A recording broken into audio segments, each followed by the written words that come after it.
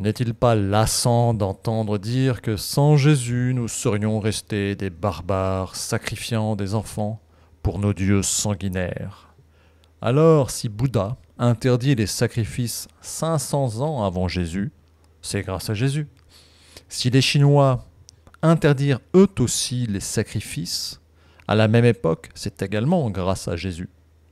Et que nous, donc Européens, plus stupides que les autres, nous serions restés des sauvages sans l'arrivée de Jésus.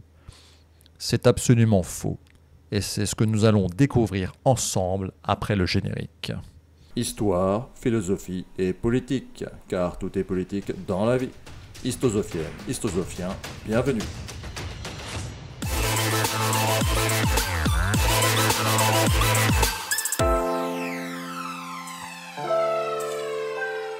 Le sacrifice existe dans toutes les cultures humaines et dans un certain sens dans le monde animal également.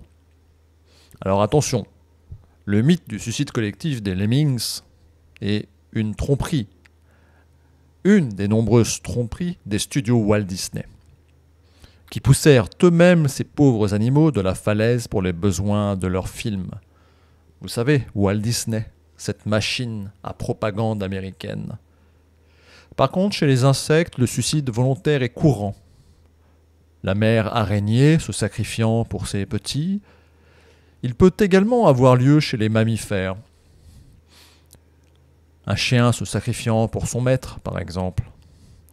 Bien évidemment, le sacrifice humain n'existe que lorsqu'il y a un excédent, un excédent humain. La part maudite, comme l'explique Georges Bataille. Je cite l'écrivain. Un excédent d'esclaves ou de prisonniers de guerre ne peut pas toujours être employé à profit par les propriétaires d'esclaves ou les vainqueurs, et peut même constituer une menace, la révolte par exemple. Ils sont alors exterminés de façon rituelle, la culture encadrant une, fonction économique et militaire.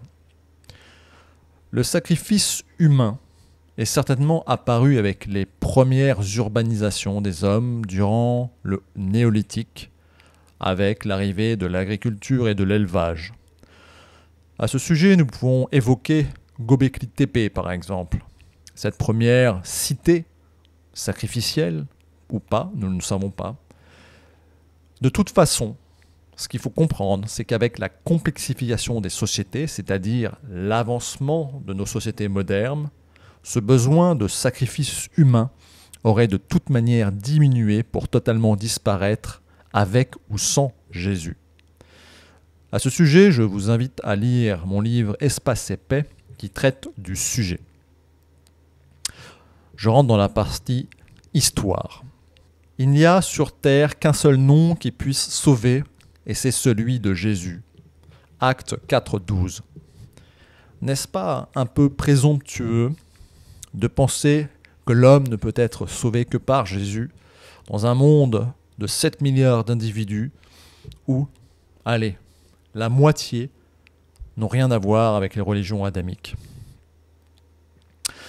Alors, sauf à penser que Jésus fut lui-même influencé par des courants bouddhistes, par exemple, là je vous invite à aller voir ma vidéo sur les vies secrètes de Jésus, c'est plutôt effectivement l'inverse qui s'est passé. C'est plutôt le monde non occidental qui influença le monde occidental sur le sujet de l'acceptation, de la bienveillance et de la fin des rites de sacrifice humain. Bouddhisme, shintoïste, hindouiste, mais alors aussi les juifs, les musulmans, iront tous en enfer avec bien évidemment les athées. Si personne ne reconnaît Jésus comme nos sauveurs. Ils sont donc condamnés à aller en enfer. Pas tout à fait. Pas tout à fait. Car, je peux citer, quand des païens qui n'ont pas la loi pratiquent spontanément ce qui est prescrit, ce que prescrit la loi, eux qui n'ont pas la loi sont à eux-mêmes leur propre loi. Romains 2.14. Effectivement, c'est du bon sens que de dire que tout le monde, n'importe quel individu, ayant foi, pas foi, bouddhiste, hindouiste, chrétien, musulman, juif ou je ne sais quoi d'autre Si cette personne a de la bonté, du respect pour les autres, et qu'il gère au mieux son agressivité et domine sa violence, lui aussi a le droit au paradis. Paradis Charles Gave qui s'entretient avec Paul Duboucher, le spécialiste de René Girard. La violence et le sacré. Et euh, Charles Gave, que j'apprécie par ailleurs, hein, affirme, affirme des choses qui sont complètement euh, égo, égo-centrées sur l'Occident, sur, le catholique. Euh, pour lui, Jésus, mais comme pour beaucoup d'autres d'ailleurs chrétiens, Jésus qui s'est sacrifié donc pour sauver, pour nous sauver, aurait mis fin au sacrifice humain par son propre sacrifice. Bon. C'est un petit peu résumé euh, rapidement l'histoire, puisque je peux quand même rappeler que ce n'est pas Jésus qui a mis fin au sacrifice humain. En France, en l'occurrence, c'est Mitterrand en 1981, lorsqu'il a interdit la peine de mort. Effectivement, la peine de mort un sacrifice humain. Et le sacrifice humain joue un rôle dans toutes les sociétés d'équilibre. Et je le redis, plus dans l'histoire nous, remarquons que plus une société tend vers la complexification technique, c'est-à-dire plus une société s'urbanisme, se développe, euh, où la démographie euh, augmente de manière significative et importante, moins nous avons besoin de sacrifices humains, ou tout du moins il change de forme, il devient, entre guillemets, légal, officiel, euh, juridique, et c'est la peine de mort qui est encore pratiquée dans de nombreux pays chrétiens, euh, les États-Unis par exemple. Alors, Jésus est venu, s'est sacrifié pour mettre fin au sacrifice, et il continue. Chose étonnante. C'est de fait un besoin dans la société, c'est un contrôle, un contrôle social de canalisation de la violence. Et je le rappelle, la violence n'est pas à confondue avec l'agressivité. L'agressivité est un réflexe biologique, animal de défense, défense du territoire, défense des femelles, défense énergétique, etc. La violence est une psychose profonde des humains face à l'angoisse du temps qui passe. Le sacrifice est quelque chose de courant et qui existe dans la société depuis toujours et qui existera encore le sacrifice d'une étoile qui explose est ce qui va permettre la création de l'or, par exemple, ou du platine, sans fusion, sans fusion nucléaire des étoiles, nous ne serions pas de ce monde. La mort, le sacrifice donne la vie. Mourir pour créer le vide créateur des Chinois, des taoïstes, et en cela tout à fait révélateur. Et vous retrouverez cette allégorie avec Jésus. Jésus est mort pour créer autre chose, une nouvelle religion, pour nous sauver du péché originel. Alors, dans un sens historique, c'est bien évidemment tout à fait allégorique, mais il y a une perte d'innocence avec la fin du paradis terrestre, c'est-à-dire l'homme rentre dans le néolithique, c'est-à-dire dans, l'urbanisation, dans, une société de plus complexe, c'est-à-dire que, euh, si vous voulez, à l'époque clanique de l'homme chasseur-cueilleur, nous pouvons penser qu'il n'y avait pas de sacrifices humains. Il y avait des guerres, des guerres de conquête, des guerres d'agressivité, mais pas de violence. Pourquoi? Parce que dans un clan d'une cinquantaine de personnes, euh, si un chasseur ou euh, une n'importe quelle personne meurt, disparaît du clan, c'est une perte. Une perte qui peut être très dangereuse pour la survie du clan. Si vous êtes dans une ville, vous êtes urbanisé dans une ville à l'époque du néolithique, une ville allée de 1000 habitants, 2000 habitants, vous pouvez à ce moment-là sacrifier, allez, 10 personnes sur 1000, 2000, cela ne changera pas le cours de la société. Et en général, on va sacrifier des gens très particuliers, puisque ce sacrifice est avant tout soit fait sur des, sur des gens qui ne servent plus à la société, c'est l'excédent, euh, ce que nous avons défini euh, tantôt de la part maudite, si vous voulez, de Georges Bataille, ou alors c'est des gens euh, exceptionnels, exceptionnels, et là c'est le un, une sorte de sacrifice ultime, on va sacrifier la, la, la, la, jeune fille vierge, de bonne famille, etc., pour canaliser une fois de plus la société. Par exemple, aujourd'hui en France, Macron, dans le contexte social actuel, va devoir encore sacrifier peut-être son Premier ministre ou un autre ministre. Le sacrifice est un acte pour calmer la foule. Bien évidemment, le sacrifice ultime serait que Macron démissionne, mais comme c'est un psychopathe, un, quelqu'un de violent euh, au sens euh, vraiment euh, profond du terme, c'est-à-dire un névrosé, il ne le fera pas. Hein, c'est pas un De Gaulle. De Gaulle s'est sacrifié, il est parti, car c'était un homme juste, un homme bon, ayant le sens du bien commun et le sens de la nation. Ce qui n'est pas du tout le cas avec Macron. Alors, Jésus s'est donc sacrifié pour sauver les hommes et euh, en quelque sorte nous sauver du péché originel. Mais c'est quoi le péché originel? Le péché originel n'existe pas en Chine, en Inde, au Japon, au Cambodge.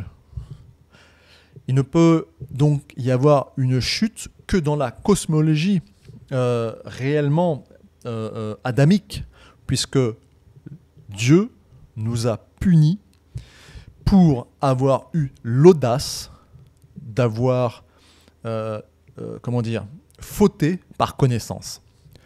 Alors ça, c'est quand même quelque chose, quand on y réfléchit, d'assez incroyable. Il existe des cosmologies dans toutes les cultures. Dans toutes les cultures du monde, il y a une explication au sens de la vie, au sens du monde, à la création, au sens de la création du monde, mais il n'y a pas ce péché originel aussi profondément marqué. Il est spécifique aux religions adamiques, je vous donne pour comparaison, tout cela vous le retrouverez hein, dans le livre Espace épée, par exemple au Cambodge, dans la mythologie euh, cosmologique euh, bouddhiste du Theravada spécifique au Cambodge. Euh, il y a le premier couple qui est issu du dharma, hein, de, la, loi, de, l'énergie, de la matrice si vous préférez. Donc il y a Gato et Gata. Gato c'est l'homme, et de son ombre est créé Gata la, femme. C'est le premier couple.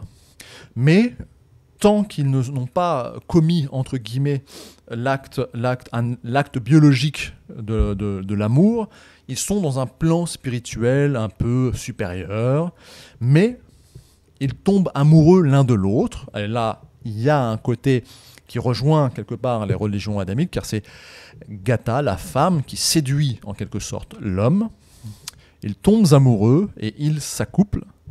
Et par cet acte biologique, ils chutent sur Terre, dans la Terre physique. Alors, il y a une certaine ressemblance, et ensuite, euh, comment dire, la puissance, la puissance, euh, euh, le dharma, la loi, la puissance, crée Bouddha entre quelque sorte pour rester proche des humains, pour leur enseigner le salut. Alors il y a de fortes similitudes, bien évidemment, avec le christianisme, hein. mais de toute manière, c'est quelque chose de générique hein, euh, dans toutes les cultures du monde, dans toutes les cultures, on va dire, relativement avancées. Nous retrouverons les mêmes phénomènes. Mais là, en l'occurrence, la différence vient au fait que même s'il y a une chute, il n'y a pas un péché contre la femme. Il n'y a pas un péché, euh, euh, il n'y a pas une faute grave commise, il n'y a pas de punition. Bien au contraire, l'esprit du Bouddha, la force, le Dharma, euh, va rester pour protéger ce couple qui a certes, entre guillemets, pas, non pas fauté, qui a, qui a changé de plan astral, car ils, ils sont devenus animaux en se reproduisant. Et l'esprit du Bouddha, c'est-à-dire l'entité du Bouddha, reste avec eux pour les guider sur la voie du salut. Il y a quand même une grande différence, c'est extrêmement moins violent que la chute au sens adamique et l'expulsion du paradis terrestre. Et c'est ce qui crée toute la tension chez les juifs, la tension messianique, de devoir à tout prix retrouver ce paradis perdu euh, pour de nouveau vivre euh, éternellement, sans douleur et dans une joie au sein du paradis perdu, en l'occurrence pour les juifs terrestres et euh, plutôt spirituel pour les chrétiens et les musulmans. Alors nous retrouvons également un petit peu cette même histoire dans la mythologie nordique avec Balder. Balder, c'est l'équivalent de Jésus dans la mythologie germaine. Balder, c'est le fils de Dieu, de, Odin. Euh, c'est un homme bon, beau, euh, et qui vient également et qui va également sauver les hommes à la fin. Il est aussi sacrifié. Balder, lui, est assassiné par son propre frère, aveugle, qui, qui est manipulé et qui ne sait pas qu'il tue son frère. Et euh, comme Jésus, euh, Balder sera ressuscité après la fin des temps, après le Ragnarok. Il sera ressuscité après le Ragnarok et reviendra sur Terre pour créer et sauver la nouvelle humanité, la nouvelle race humaine, euh, et qui va de nouveau vivre en paix sur Terre, etc., etc. Donc nous voyons bien que toutes les cosmologies partagent plus ou moins la même histoire, mais, mais il y a quand même un point particulier dans les religions adamiques, c'est-à-dire cette, cette violence messianiste d'avoir été expulsé de chez soi, d'avoir perdu le paradis terrestre par la volonté de Dieu, par, à cause de la femme, qui a commis le péché ultime, même pas celui euh, de, de, l'acte charnel, parce que celui-là aurait pu exister, à mon sens, euh, peut-être, sans être puni. Non, c'est la connaissance. Ici, c'est la connaissance. Dans le bouddhisme, la connaissance n'est pas du tout punie. Ou bien au contraire, c'est par la connaissance et la prise de conscience des poisons mentaux que nous pouvons progresser sur l'octuple sentier de la libération. C'est totalement différent. Donc vous voyez bien que, entre guillemets, Jésus n'est qu'une un avatar d'autres histoires qu'il existe sur toute la surface de la Terre, dans les mythes indiens, bouddhistes, nordiques, euh, etc. Donc là, je vais passer maintenant à la partie philosophique. Je reviens un petit peu sur la violence. La violence est une pathologie spécifiquement humaine. La violence n'existe pas chez les animaux. Les animaux sont agressifs, mais pas violents. Il n'existe pas de sacré ou de profane chez les animaux. Et pourtant, il y a quand même un sens du sacrifice chez eux. Hein. le, sacrifice est donc quelque chose qui a une part biologique, mais également de sacré ou de pathologique chez les humains. Notamment euh, quand le sacrifice euh, est utilisé euh, pour calmer la foule, pour canaliser la violence des humains. Le sacrifice est donc un régulateur de la société, qui existe encore aujourd'hui. Il est faux de dire que le sacrifice a disparu avec Jésus. C'est totalement faux. Euh, durant tout le Moyen Âge, la torture, la peine de mort, le sacrifice a été utilisé en France, je le redis, le sacrifice humain a pris fin avec Mitterrand en 1981, avec la fin de la peine de mort. Une peine de mort qui était même appliquée dans les années 60 en France était, euh, la fin peut-être plus publique, mais elle a été très longtemps publique. La, peine de mort, le sacrifice humain ultime, est, un, est quelque chose qui, qui est très profond dans la société humaine. Euh, c'est un spectacle un spectacle qu'on vit collectivement, c'est une rédemption, c'est un calme, c'est une canalisation de toutes les angoisses et de toutes les violences de la société. Et faites l'analogie avec, avec euh, un gouvernement. Macron a sacrifié Borgne pour calmer le peuple. Et là, je pense qu'il va devoir encore faire un autre sacrifice euh, pour encore de nouveau calmer le peuple. Donc comprenez bien, quand je, c'est une, c'est le sacrifice et, une déconstruction. Hein, ça sert à déconstruire une angoisse pathologique. Et c'est bien pour ça que euh, j'ai appelé cette vidéo Jésus fondateur déconstruit. Parce que on ne peut pas affirmer que c'est grâce à Jésus que la paix, entre guillemets, que, enfin, ou disons que l'homme euh, euh, est devenu, est sorti de sa bestialité d'individus sacrifiant des enfants sur l'autel des dieux, etc., Ce qui a existé, hein, je ne dis pas que ça n'a pas existé, mais ce n'est pas le fait que Jésus soit venu dans un sacrifice. En fait, Jésus n'a fait euh, euh, que dupliquer l'histoire du sacrifice. Il s'est lui-même sacrifié, patati patata, pour nous, pour nous sauver, pour canaliser cette violence, et ainsi de suite. C'est exactement la même histoire. Donc Jésus n'a rien changé à la donne.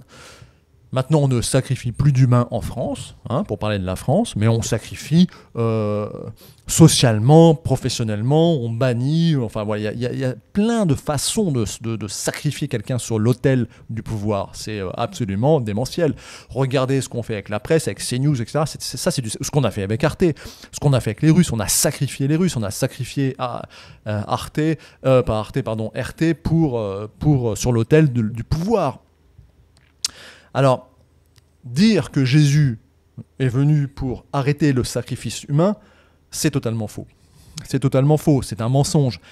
Euh, et d'ailleurs, dans cet entretien entre, Charles Gave et Paul Duboucher sur le sacrifice, euh, dire que, que, Jésus a créé la société, euh, ou disons plutôt dire que c'est grâce à Jésus et à son sacrifice qui a mis fin au paganisme, au sacrificiel pagan, euh, païen euh, démentiel, etc., et qui, nous a rendus civilisés, et ce qui aurait permis à la société européenne de se développer telle qu'on la connaît aujourd'hui, c'est un mensonge, c'est un mensonge flagrant. Dans la vidéo, entre, dans l'entretien euh, entre Charles Gave et Paul Duboucher, très intéressant par ailleurs, hein, mais de, de, dire que c'est grâce au sacrifice de Jésus-Christ venu nous sauver et donc qui nous aurait transformé d'un homme païen hyper violent, euh, commettant des sacrifices tous les matins, etc., et qui nous aurait donc rendu civilisés, gentils, doux, et ce qui aurait permis à la société européenne de se développer, est totalement faux, puisque même Paul euh, Duboucher euh, avoue entre les lignes Hein, il avoue entre les, lignes que la déconstruction de la religion chrétienne, c'est-à-dire, c'est-à-dire en fait la religion chrétienne qui, est devenue folle en quelque sorte, nous tend vers la violence. Hein. Jésus, euh, c'est le fondateur déconstruit. Jésus est le personnage qui a commencé à déconstruire la société hiérarchique. Alors peut-être qu'elle était trop hiérarchique, la société hiérarchique du pouvoir, de l'ordre naturel. Ça veut dire quoi? Ça veut dire euh, que Jésus était une sorte de révolutionnaire, ça je l'entends tout à fait, mais c'est quand même lui, Jésus, euh, qui a commencé la déconstruction de la société euh, que, Paul Gave, que Charles Gave pardon, critique tout le temps. Jésus c'est lui qui a dit qu'il n'y a plus d'hommes, plus de femmes, plus de grecs, plus d'esclaves, etc. Nous sommes tous un en Jésus. C'est un universalisme, pour ne pas dire un mondialisme, avant l'heure, déconstruit. Hein. Le, fort ira en enfer, le faible au paradis. Bon, je fais des raccourcis, euh, bien évidemment. Mais ça, c'est de la déconstruction. Et, et, à force de déconstruire, hein, euh, on arrive aujourd'hui où le pape n'a plus aucun... Euh, il, a des clients, hein, que, la France soit repeuplée, etc., euh, que la civilisation, que la culture française disparaisse, etc. Pour le pape, c'est pas très grave tant qu'il y aura des chrétiens. Un chrétien envoie un autre, vous voyez hein, Et ça, ça, c'est de la déconstruction. Non, tout le monde ne se vaut pas. Il y a une hiérarchie des valeurs. Il y a des gens plus intelligents, il y a des gens plus forts, plus beaux, euh, plus bêtes, etc., euh, etc. Il faut préserver une élite, et, une élite euh, au sens noble du terme, hein, pas une élite de sang, pas une élite d'argent, non, une élite d'intelligence, une élite de connaissance, une élite qui va tirer le pays, la nation vers le haut. Eh bien, Jésus, ça en quelque sorte, a commencé à le déconstruire pour arriver jusqu'à Derrida, qui lui euh, clame haut et fort qu'il n'y a rien de naturel, que tout est culturel. Mais non, la violence est peut-être culturelle. Et encore, je pense qu'il y a des pathologies biologiques. Mais par contre, l'agressivité, la force, la domination est totalement biologique. Hein? Et ça, les animaux nous le démontrent.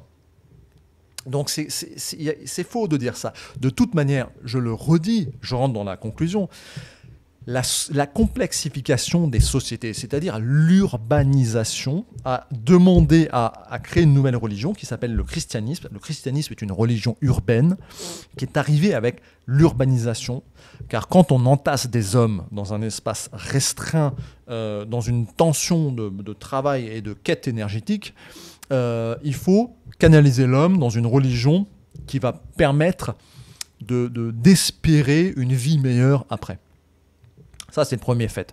Le deuxième, ensuite, c'est que forcément, de fait, une ville est, cosmopolite. Elle est cosmopolite puisqu'elle attire euh, par exemple, des gens des régions en France, avant que la France ne soit euh, euh, un pays nivelé et à peu, près, à peu près identique du nord au sud, quoique ce n'est même pas le cas aujourd'hui. Mais vous voyez bien qu'il y a une progression, il y a une complexification.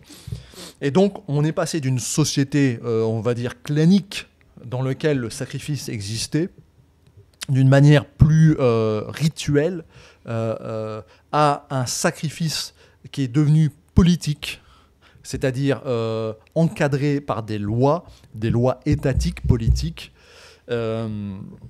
Euh, mais c'est le même effet, c'est la canalisation. Et la religion chrétienne remet une couche, hein, c'est le double effet qui se coule. C'est en fait le sacrifice ultime est celui de Jésus, mais c'est toujours un sacrifice, et il se perpétue, et se perpétue dans le sens où, euh, jusqu'à il n'y a pas encore très longtemps, la peine de mort était appliquée en France, la torture était pas quelque chose de condamné, bien au contraire, puisque euh, on, devait faire avouer en, coupable euh, ses péchés, et c'était Dieu qui pourrait, lui et seul, le juger s'il avait droit au paradis ou pas.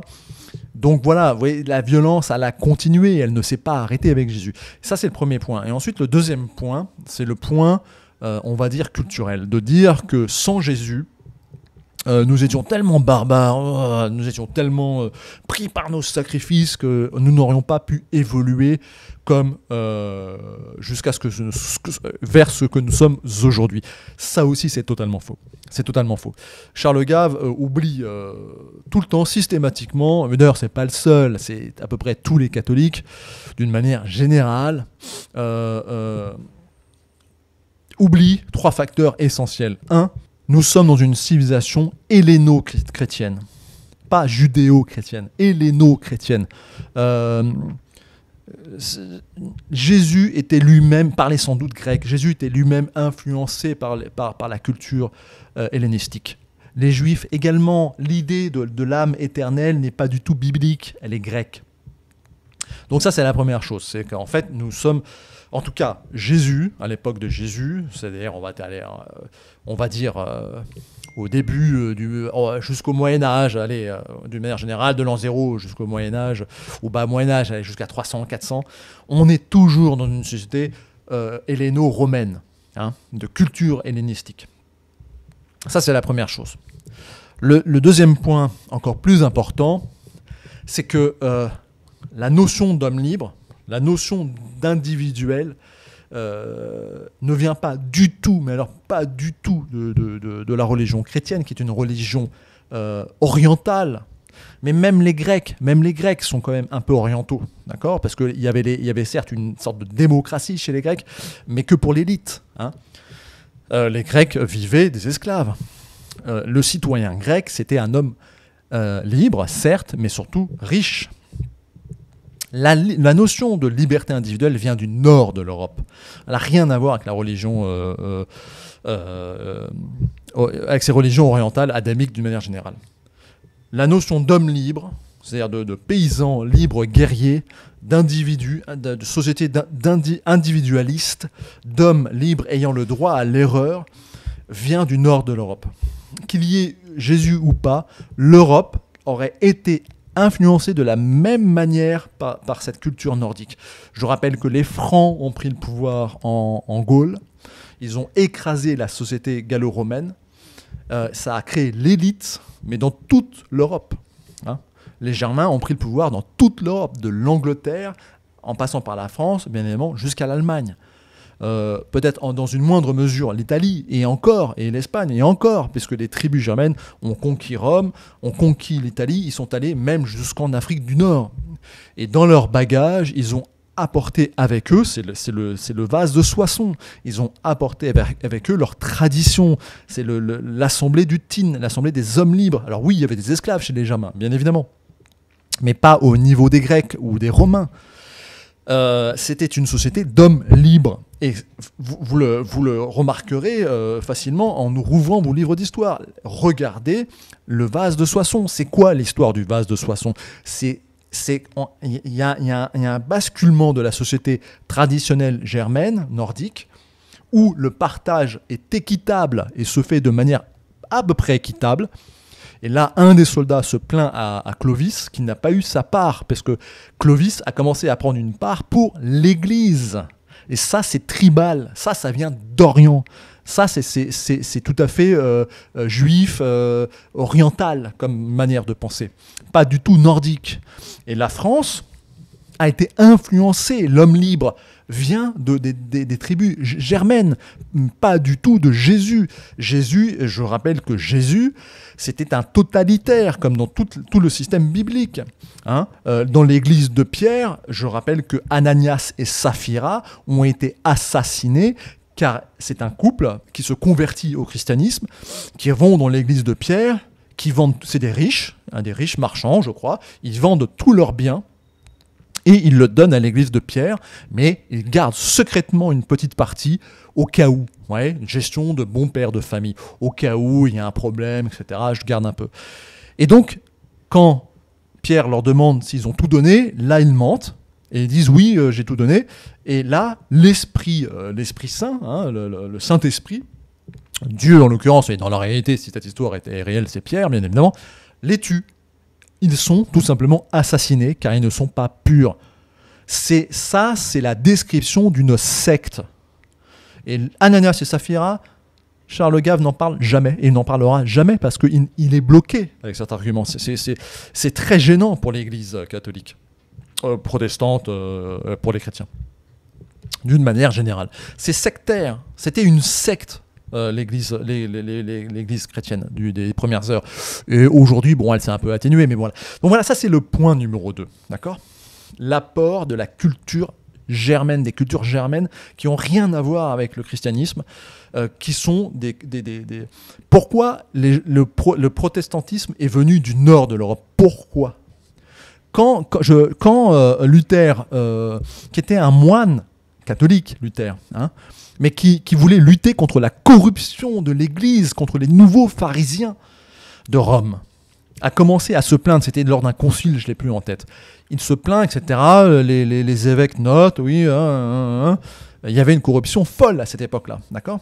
Et rien n'a été fait. Les corrompus n'ont pas, n'ont pas changé, ils sont, euh, voilà. Et donc du coup, il s'est détaché de l'Église, mais il ne voulait pas le faire. C'était pas son but. Bon, après Calvin, lui, c'est un euh, iconoclaste, lui, c'est un extrémiste euh, fou.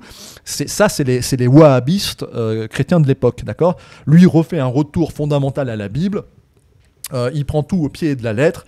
C'est les wahhabistes de l'époque. Et ça, ça a créé en Angleterre. Bon, l'église anglicane est une église protestante, mais pas réellement au sens propre du terme. Elle s'est détachée de Rome pour des raisons politiques.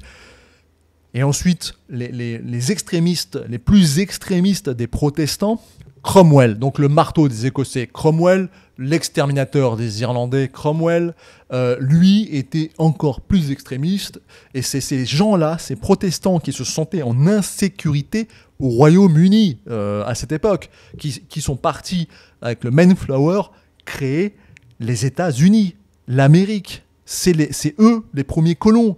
C'est-à-dire des mecs d'une violence in- inouïe, qui se sentaient euh, pas bien en Angleterre, qui était un pays extrêmement libre, où ils auraient pu aller en Hollande. C'était des pays très libres, c'était pas du tout la France catholique. Et c'est eux qui ont créé les États-Unis. Bon, là, j'arrête là, parce que si vous voulez, euh, j'irai trop loin. Et ensuite, le troisième point, qui est le plus important, Euh, tout simplement, de toute manière, le sacrifice humain, le changement sociétal aurait eu lieu. Je rappelle qu'en Chine, hein, la, Chine a arrêté elle-même ses sacrifices euh, dans la société, quand la Chine s'est complexifiée. Quand une société se complexifie, c'est-à-dire qu'elle s'urbanise et qu'il y, qu'il y a une explosion démographique euh, dans des villes, dans des, dans des lieux urbains, on ne peut pas gérer la, la, la, la, vie comme, comme dans un clan clanique. Donc, euh, le sacrifice, entre guillemets, du bon père de famille qui sacrifie son, son, son, fils le matin, ça ne fonctionne plus. Il faut canaliser les choses d'une manière politique. D'accord? Et cette complexification, de toute manière, aurait eu lieu partout. Elle a eu lieu en Chine. C'est pas Jésus qui a arrêté le sacrifice en Chine. D'accord? Donc, de toute façon, nous serions, le sacrifice humain se serait arrêté de lui-même dans la complexification des sociétés, avec Jésus ou pas. C'est clair à comprendre ça, d'accord? Euh, On ne peut pas sacrifier des êtres humains euh, euh, de, manière rituelle dans des petits temples à droite à gauche, dans une ville d'un million d'individus. Ça ne fonctionne pas. Dans une ville d'un million d'individus, on canalise, il y a des lois, la, société devient complexe. Plus une société devient complexe, je parle de complexité technologique hein, évidemment, plus une société devient complexe, euh, plus il y a des lois pour cadrer les humains, et plus les humains tendent à euh, retourner euh, une, enfance. C'est-à-dire en fait, plus l'humain devient infantile. D'accord? Et ça, d'une manière générale, ça, ça aurait eu lieu. Alors le christianisme a aussi participé, bien évidemment, à sa manière. Mais sans christianisme, je, rappelle que on, était, on aurait très bien pu euh, tomber dans le culte de Mitra. Hein, C'était pas du tout euh, joué que ce soit le christianisme qui prenne. Mais de toute manière, il y aurait eu un changement de religion. Parce qu'on pouvait pas gérer des religions païennes complexes. Hein. Les religions païennes de l'époque en Europe étaient complexes. Il y avait, euh, c'était, ça coûtait cher, il fallait faire beaucoup de rituels, de sacrifices, pas humains, hein, mais de sacrifices euh, animaux, ou même de nourriture, etc., etc. Donc de toute façon, la complexité des sociétés tend vers une simplification de l'individu. C'est ce qu'il faut comprendre, c'est fondamental à comprendre. Voilà, donc ça, c'était les trois points essentiels euh, dont je voulais vous parler. Donc ce n'est pas du tout le christianisme qui est, qui, est, le, qui est la clé euh, du développement de la société européenne. Elle se serait développée quoi qu'il arrive. C'est quelque chose qui est intrinsèque à, nos modes de vie, notamment nordiques ou euh, gréco-romains, d'accord? Qui sont, euh, c'est un mariage des deux entre la, religion gréco-romaine et la religion germanique du Nord il y a eu une, couche rajoutée par le christianisme, mais s'il n'y avait pas eu de, christianisme, on serait arrivé au même résultat, d'une manière ou d'une autre. Donc voilà un peu ce que je voulais vous dire. Euh, si vous voulez, c'est quand même important de le comprendre. Jésus n'a fait que, déconstruire, que commencer la déconstruction qui a eu lieu qui a eu lieu euh, après. Euh, le, christianisme est, la première religion, euh, alors je ne vais pas dire mondialiste, hein, parce que là les gens vont pas aimer, universal, universalisme, universaliste, si vous préférez, mais ça revient au même. Là il faut lire Badiou, il faut lire il faut regarder ce que fait Paul, Paul euh, Sol de Sartre. C'est que certains disent qu'il s'est introduit dans le christianisme hein, pour mieux le contrôler de l'intérieur, c'est-à-dire tendre vers un individu soumis entre quelque, quelque sorte soumis à une religion euh, euh, orientale qui demande une, une, soumission totale à Dieu. Et ça, c'est quand même génial pour contrôler une population. Euh, quand Clovis, moi je pense que quand Clovis il a compris ça, euh, il s'est dit mais ça c'est génial, c'est génial. Je suis héréditaire, je suis choisi par Dieu, je suis le, représentant de Dieu. Mais ça, ça n'existait pas du tout chez les Germains. Vous comprenez qu'il y a eu une révolte. C'est ça le base de toute les, chefs de guerre germains étaient élus le temps de la guerre. Alors bien sûr qu'il y avait des seigneurs, il y avait en Suède, euh, il y avait les Jarls, il y avait, etc. Bien sûr qu'il y avait toujours eu des riches, des pauvres, des moins riches, etc.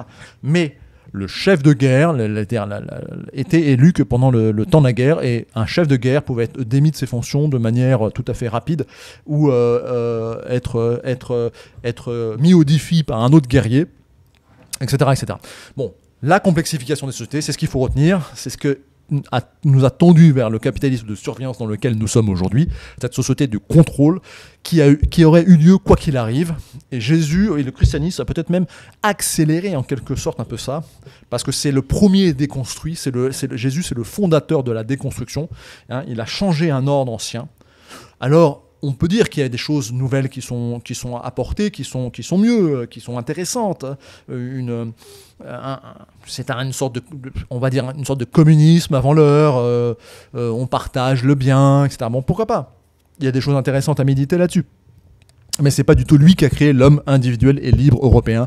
Ça, ça vient du nord de l'Europe. ça n'a rien à voir avec, avec Jésus et bien au contraire, à mon avis. Voilà. Merci. À très bientôt.